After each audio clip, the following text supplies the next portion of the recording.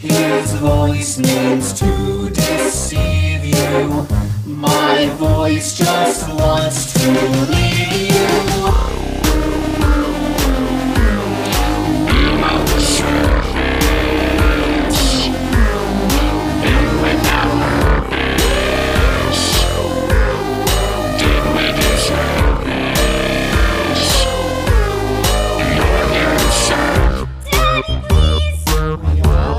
price tag.